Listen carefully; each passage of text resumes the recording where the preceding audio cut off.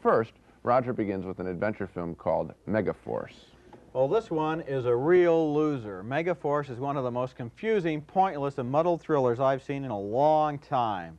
It's just an excuse for mindless stunts and chase scenes repeating each other over and over again. The movie stars Barry Bostwick as the leader of a group of mercenary commandos who are assigned to carry out a dangerous and pointless raid against an enemy outpost in the desert. But first, he gets involved in a really dumb love affair with Persis Khambatta, a female warrior with romance on her mind.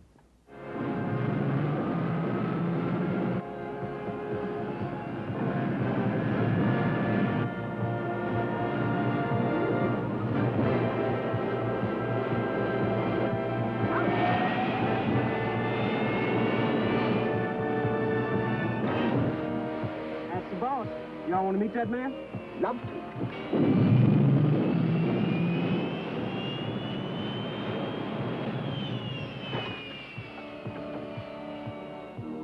Commander Hunter, I presume. Uh, call me Hunter. Target sighted and closing. Major Ben Buddha, I presume. Call me Sarah. Commander, we have traveled halfway around the world to learn how our forces will interface with yours to help destroy Carrera. I hope your plan reflects greater precision than we have seen so far. Well, there are reasons for everything that we do, Major. Zara, right? And do they include leaving your guests to bake in the middle of the desert, greeted by cowboy, and be attacked by wild creatures?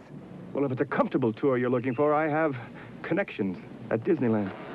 There they are in this life and death mission, and we get dialogue like women used to use in the movies 30 years ago. You're going to leave me to bake in the desert. She's supposed to be a warrior, but that's how she talks. You may remember her. That's Persis Khambatta from the first Star Trek movie. Mm-hmm. I don't think very many people are going to remember her from this movie. But there is an attempt made to make this tired old plot look contemporary through a computerized display of battle plans. There is a minor trail that we could conceivably move our equipment across. And as we come up the backside, we'll use our electrics and run silent, so therefore they can't hear us.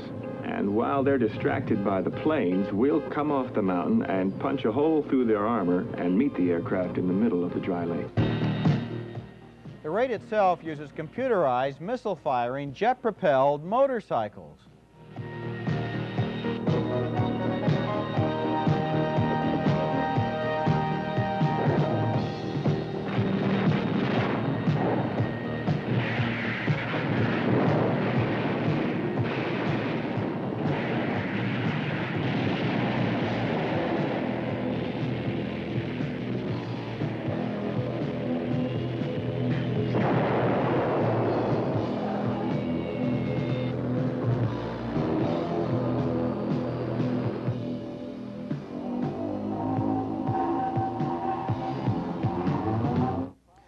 Think there's a tactical problem involved in having the guns on the handlebars of the motorcycle so that you can only fire them in the direction that you're going, which means that in order to fight at all, you have to steer directly toward your enemy, and it's a little tough to fire while you're retreating.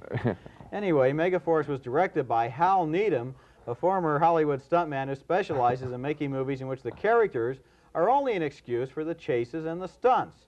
He made Cannonball Run, a real dumb movie, a vacuum-headed, complete and total waste of time. Mm-hmm. Now here he is again with lots of explosions, lots of clouds of dust, dozens of motorcycles lined up and roaring across the desert, and the movie got me so involved that I was reduced to total and stunned apathy. Well, I think I can think of another problem, too, and that is mm-hmm. the character of Ace Hunter. We saw him there in the It's not band. a great, clever name, Yeah. right?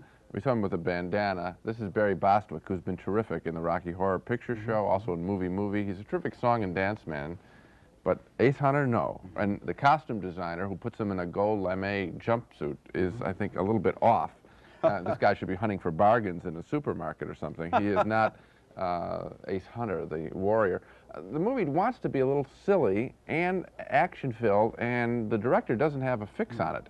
Um they should have gone one way or another, either it's always the parody same all kinds these- of things, or go real full action. These Hal Needham movies always seem to have the same, it's as if Needham just has to get through the first hour somehow so that in the second hour he can have his obligatory shot where he lines up all the vehicles that he can possibly Right. rent, buy, or hire.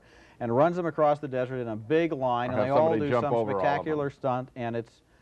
I've seen it. I've seen it, and I've seen it, and I've seen it. This movie was just absolutely repetitious as far as I was concerned. Okay.